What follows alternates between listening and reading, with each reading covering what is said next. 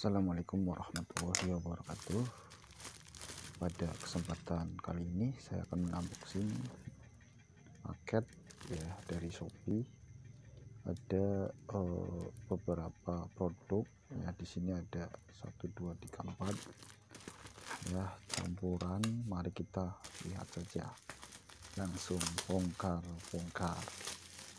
Nah seperti biasa ini saya pesan di Shopee ya untuk ekspedisi kurirnya itu menggunakan si cepat halu biasa. Pasti saya pilih yang termurah.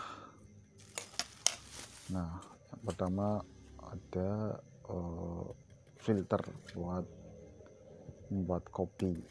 Ya filter kopi hitam agar saat diminum itu uh, jadi tidak ada ampasnya. Nah bentuknya seperti ini berbahan uh, uh, stainless ya uh, aluminium seperti itu. Nah di situ hmm, tatakannya itu menyatu ya dengan gelas buat saringannya dan berlubang-lubang seperti pada video tersebut. Ya itu harganya murah 15.000 mereknya LC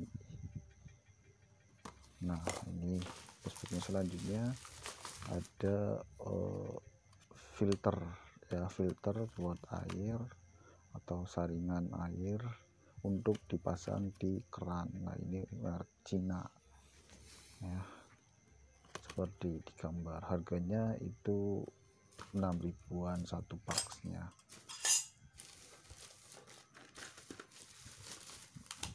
Selanjutnya oh, kita ambil semua produk yang ada di dalam paket tersebut. Nah oh, di sini saya membeli oh, 4 filter air ya.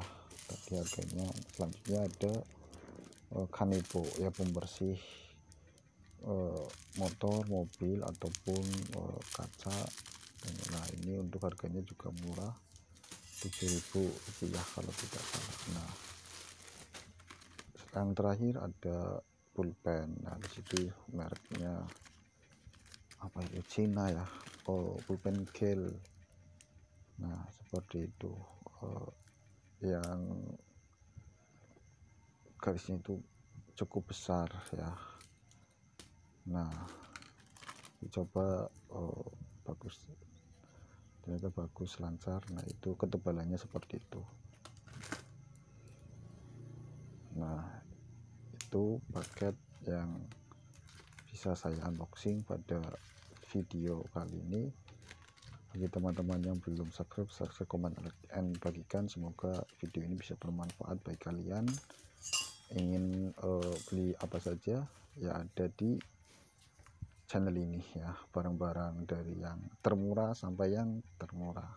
Mungkin itu saja yang bisa saya unboxing. Terima kasih Assalamualaikum warahmatullahi wabarakatuh. Bye bye